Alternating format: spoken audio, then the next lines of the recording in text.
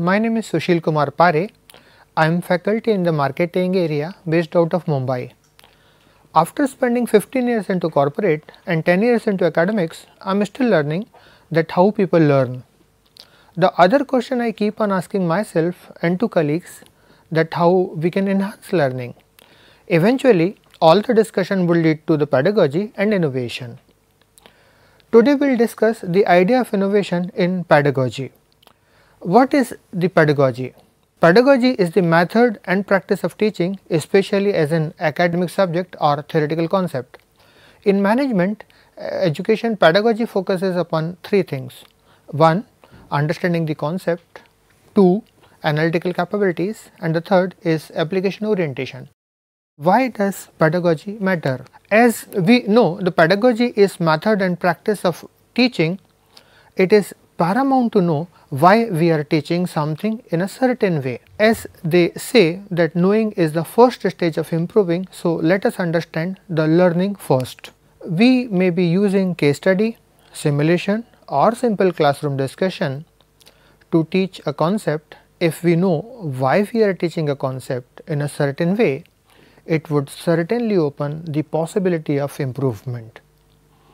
And in future, the quality of learning can be improved. Understanding the learning, today uh, pedagogy refers to the theories and methods used in teaching. However, in the past, pedagogy uh, referred specifically to the methods used to educate children.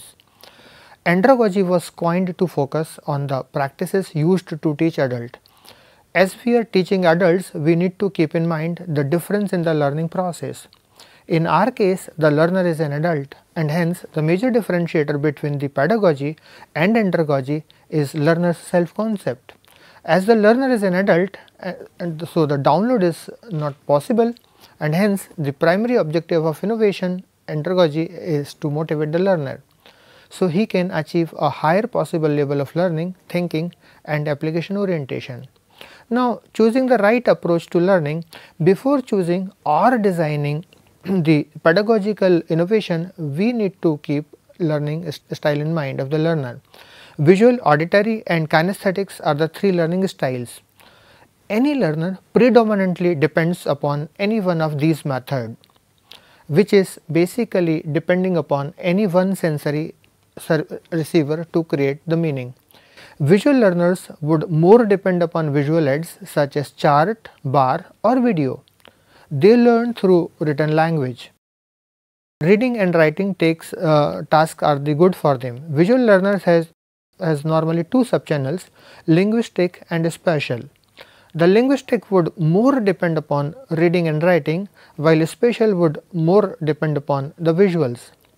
Auditory learners would depend upon the listening, here the use of Socratic method of lecturing by questioning is better. These learners draw information from lecture and questioning. Listening skill is the primary source of creating meaning for these kind of students. Kinesthetics learners do best while they are moving and, and touching. Uh, it has two subchannels kinesthetics that is movement and tactile which means touch. They need activity to focus on the topic and enhance the learning. They need support of physical activity to concentrate. Sometimes they take notes, just engage themselves. For every style, the pedagogical tools are different. So, the method of innovations. Let us talk about contemporary scenario. Today, the spectrum of andragogy, especially in management, is very wide. It ranges from classical classroom lectures with or without ICT to use of performing arts such as film or drama to establish the concept. To facilitate learning, the contemporary andragogy divides into the three categories. The first is a group learning that is the team project, second is experiential learning that is the field visit or internship and the third is constructive learning like research, case study, simulation and role plays etc. These are widely used methods to deliver this session. Having discussed pedagogy, andragogy, learning styles and importance, let us come to the concept of innovation. The question is what is innovation? The innovation is action or process of learning. It is derived from word innovate and innovate means making changes in something established especially by introducing new method, ideas or products. Why do we need innovation is the major question because job of a teacher is not to teach but facilitate learning and a million dollar question is is teaching equals to learning? We know teaching is not always equals to learning though for each teaching module we design some learning objectives or vice versa, but we know that there is a gap. This is the prime reason we as a faculty needs to innovate. In this way the teaching learning gap can be filled or at least narrowed. The challenge of the teaching learning gap can be expressed with the help of Mirza Ghalib in a better way. He says, Ya Rab, वो ना समझे हैं ना समझेंगे मेरी बात या रब वो ना समझे हैं ना समझेंगे मेरी बात दे और दिल उनको जो ना दे मुझको जुबा और we as a teacher can not ask for another heart for our learners it is better to innovate and try to ensure that the learner can understand my language. Innovation is important in this case to ensure that the teaching that is our input is able to enhance the learning that is output.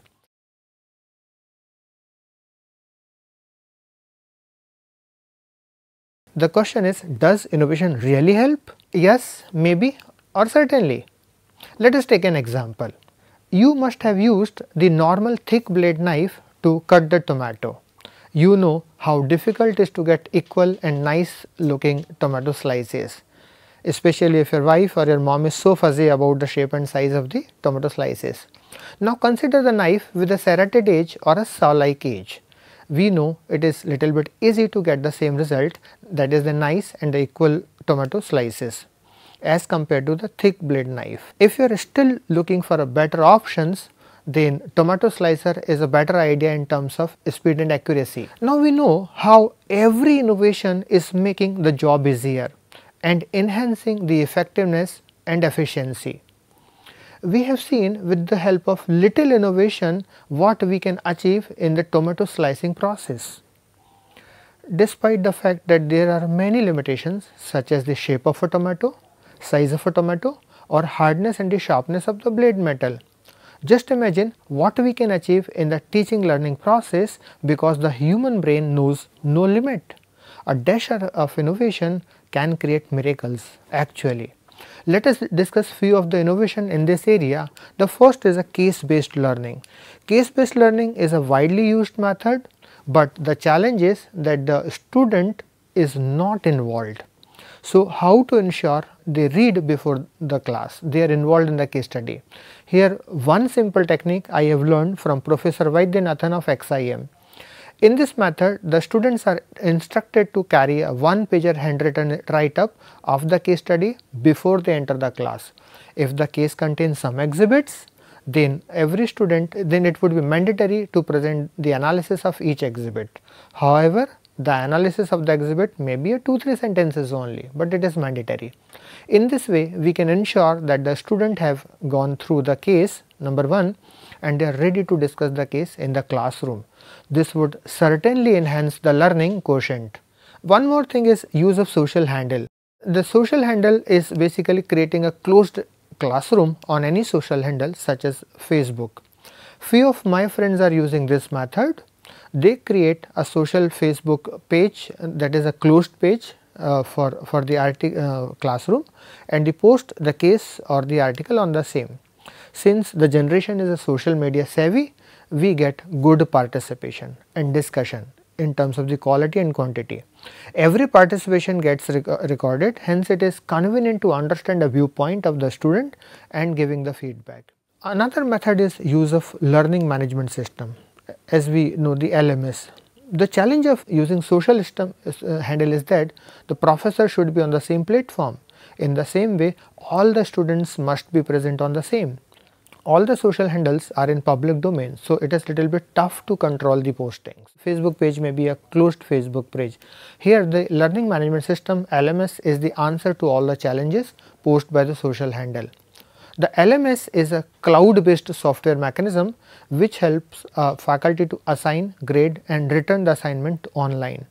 There are several free and paid solutions this space is dominated by three major players Blackboard, Moodle and Canvas.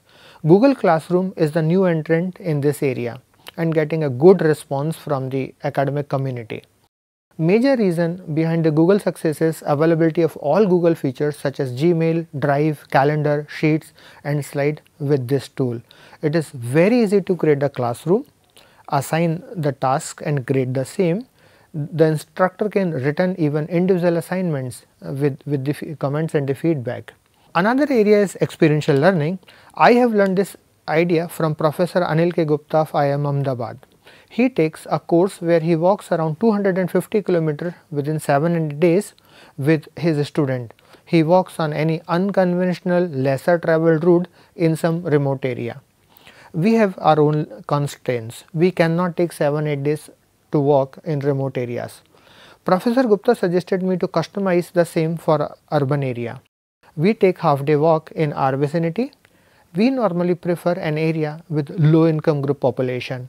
These trails are curated and the instructor would assign uh, the students small business models maybe a tea stall, a dosa stall or a small shop selling medicines. Students are encouraged to find the challenges of these small business owners and the possibility of applying the theory or concept to improve the situation of these business owners. If time permits, the students can go back to these small business owners, interview them and present the observation to the class. Depending upon the availability of the time, the owner can be invited to the classroom to share his perspective. The one more angle is open access resources. Uh, these open access resources is a new innovation and we can use for our classroom to improve the involvement of the student. Courses from these sources are commonly learned as massive open online courses or MOOCs. Some of the MOOCs courses are paid, some are free and some are tied with the universities and available to the enrolled students.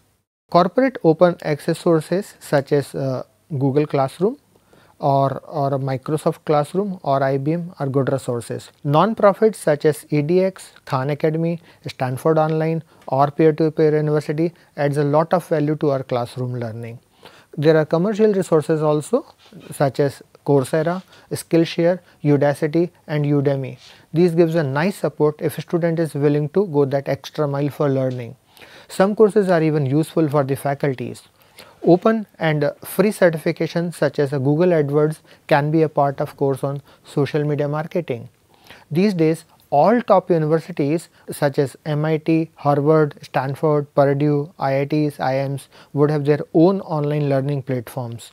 In India, uh, the National Program on Technological Enhancement Learning NPTEL and SWAYAM promoted by MHRD creating a very good content. Important thing we need to understand that innovation is a function of subject. Whatever innovation we are trying to build in, we are trying to incorporate would depend upon the subject we are trying to teach. This is a crucial aspect or the crucial angle. We will discuss with some example. Uh, let us say we are teaching a sales uh, subject, then giving a practical sales assignment of selling something adds value to the learning. In the same way, role play would add value in the course on negotiation. This is just one example of bringing the real time situation to the class. We can explore other ideas too. In the case of strategy, be it marketing strategy or production strategy, number driven cases or simulation software adds a lot of value. Globally there are plethora of these games available in India. The Chanakya simulation distributed by All India Institute of Management Association IIMA is quite useful.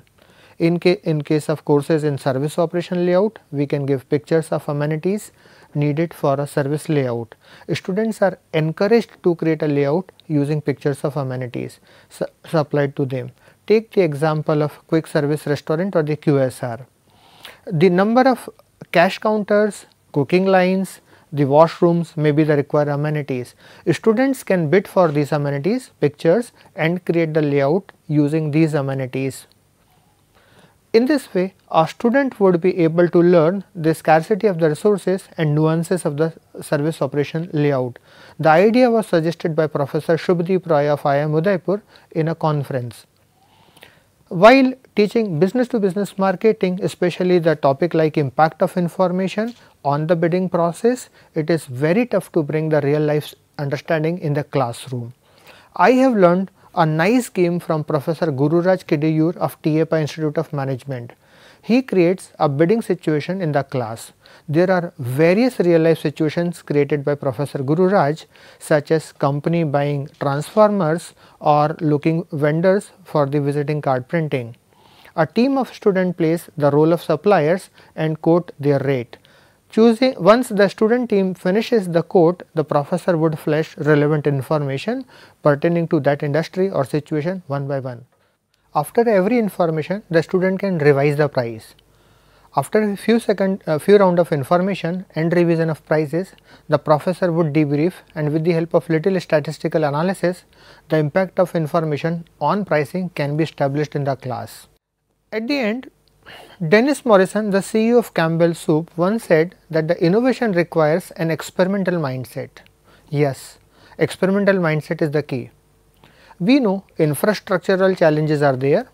We know we cannot find a panacea or a fixed solution for all type of learning challenges.